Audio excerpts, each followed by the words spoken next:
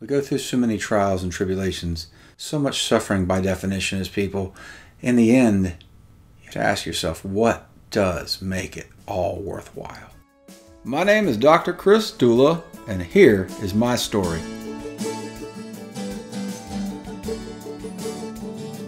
I cannot go anywhere in Johnson City without someone saying, Are you his wife? And of course, you know, I always Yeah, I'm his wife. And oh, we love Dr. Dula. He is amazing. He is the best professor that we've ever had. Whether it's um, going to a restaurant or a store, handing them my debit card, they see the name, and, he, and immediately they go into a story about either him being their teacher or a story about how he's touched them or how he's made a difference in their life. So he's he's kind of the rock star in Johnson City. Everybody loves him. We don't like rules, so we're going to have three.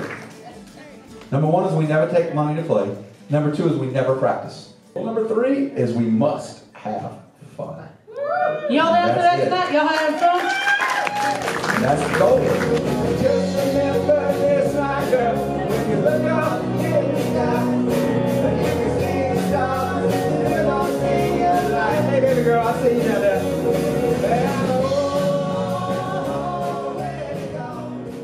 I've been playing music since I was 13 years old, but I'm just not that good at it.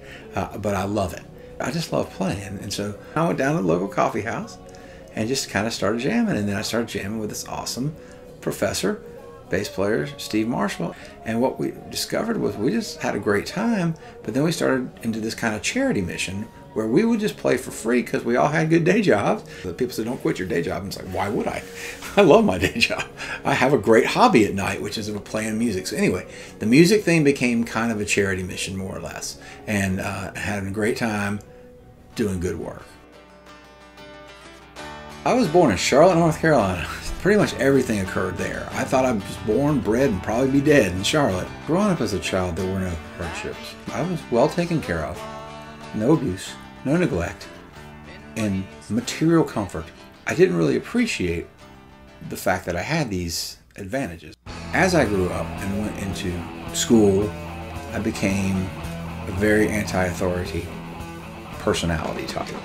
I became an alcoholic at 13 years old. That was inadvertent. It was, uh, first drink was given to me uh, by an older family member who just thought nothing of giving a 13 year old a mixed drink, and, and I became instantly, instantly addicted. It just got worse and worse and worse. And I got into the heavy metal scene, which was all about just railing against you know, the status quo. And that seemed to resonate with me.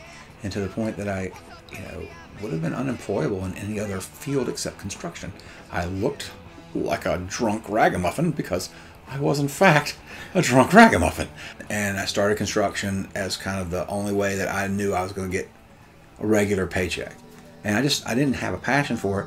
And so ultimately, I kind of, I was, I got married to my first wife, who I don't know what she saw in me, but she was a sweet and wonderful human being. I, I was 20, she was 19, so I was young, dumb, and a drunk and obnoxious. And and ultimately, I feared for her safety, and told her, "You got to go, you got to go." And that was scary to me. And that's when I became committed to becoming nonviolent. But at the same time, I hadn't quite got there yet. Uh, I got married a second time to the woman who had a 10 year old daughter.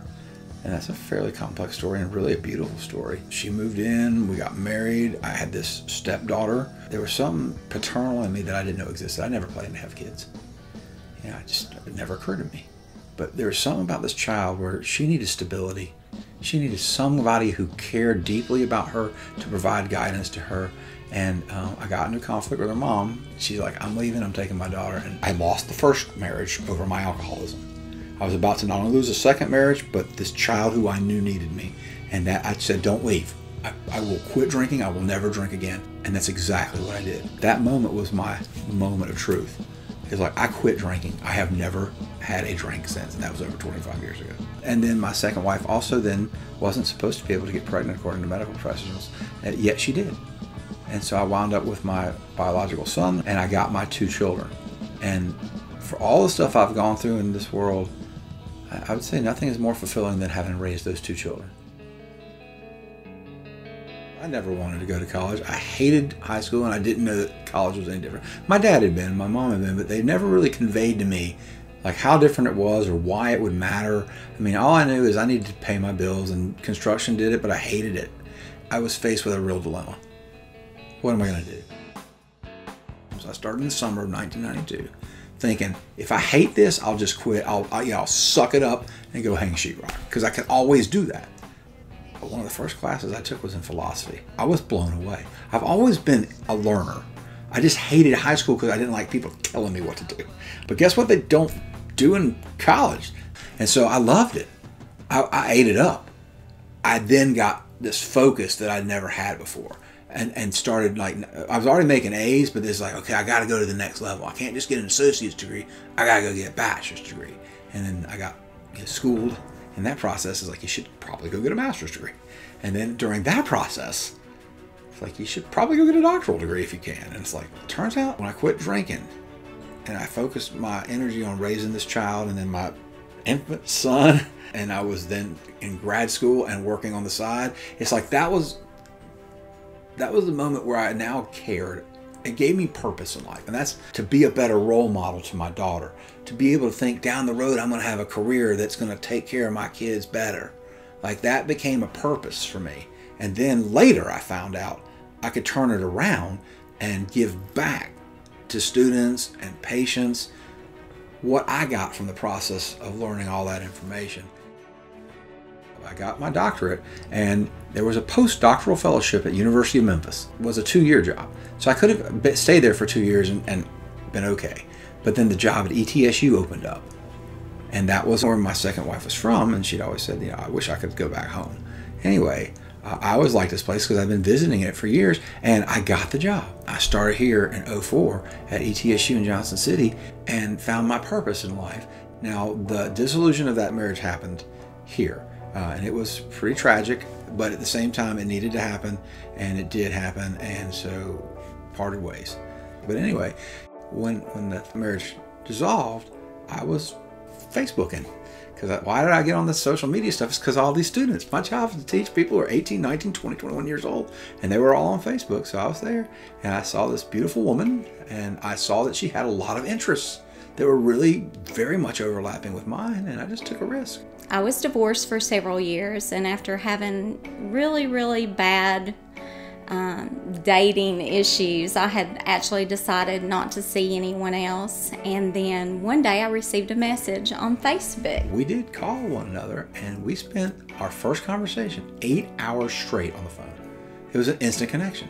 We went to a restaurant in Kingsport called Giuseppe's, which was really close to where I lived at the time in Kingsport. That was it. We have been inseparable ever since. And we have never been apart since then. And we've been married six years now. And it's just amazing to me that I could have found such a woman, that I actually feel like I deserve such a woman. That I've, I've made so many good corrections in my life. Like, if I was who I was 25 years ago, I would not deserve this person. But at this point, I feel like not only do I deserve it, but it was supposed to be this way. But you know, people always kind of, well, some older people always talking about, no, the virtual world. These kids today, they are on their phones. They're all, on, you know, they don't live in the real world. And I'm like, well, if it wasn't for the virtual world, I wouldn't be really married right now. I, I'm married in reality, and that happened with an assist from the virtual world because I was able. As she lived in Kingsport. I would never have met Denise had it not been for social media. And having met her on social media, I am now in the not only the healthiest and best relationship of my life. I feel like I am home. I have, I have found my the complement of my soul. Come to now is the fact that I do have a brain tumor, um, and that was discovered um, in a fairly dramatic fashion, but I was with my five year old niece who I call Lala, and she's like a surrogate grandbaby to me. And she's just the sweetest and smartest kid you can ever imagine. We always go to this museum called Hands On Regional. Well, I was standing with her, doing what we always do, just hanging out. I lost acuity in my lower left visual field, meaning that when I looked at her, she just became like this blob like shape. I lost all detail. And having all my other mental processes working fine, what occurred to me is I might be having a stroke in my occipital lobe. Like the area involved in vision right now I could be experiencing a stroke. And if that's the case, they are not kidding when they say every second matters. I said, Lala, will you help me get to Denise's office? She's like, yes. Like, I, I knew that you could, baby. So we go to the only intersection. We stop as we always stop. She looks left. She looks right. She looks left again. She's like, we can cross. I'm like, let's hold hands and go through the zebra. She's like, okay. So we cross the crosswalk. And so, yeah, she, she, she kind of led me. That's why I call her my little hero. Like, she just was so calm, cool, and collected. All of a sudden, he comes through my door in my office downtown, which is a couple blocks away from Hands On, and he said, Something's wrong. I got into Denise's office and I'm like, baby, I don't want to scare you. I have to get to medical attention now. They ordered the MRI, and, and within a short period of time, of course, we found out he did have a brain tumor. And then they did a biopsy on that tumor, which is obviously what you got to do. But you don't get to any kind of area of the brain where you're taking out small pieces that you don't also take out very important pieces.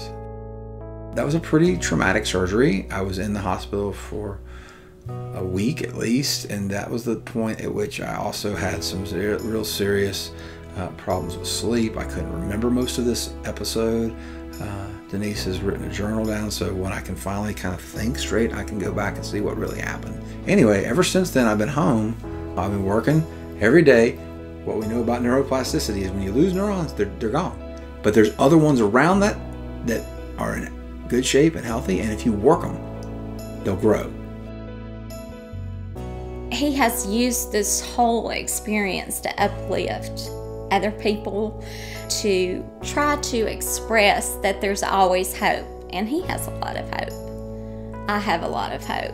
We have a lot of faith. Uh, God has gotten me through this because without him, I just can't imagine going through this.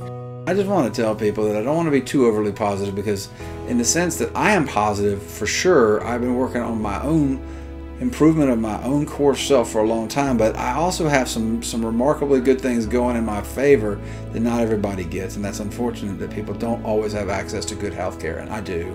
People do not always have a uh, good prognosis, and I do. There's a good chance for a cure here, and I'm going to do everything I can do. But whatever I can't do, I'm going to let go and let God. I'm a man of deep and abiding faith. Uh, but for me, I know that no matter what happens, I'm going to be okay.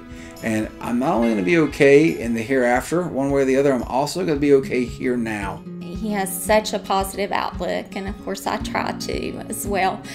But it's scary.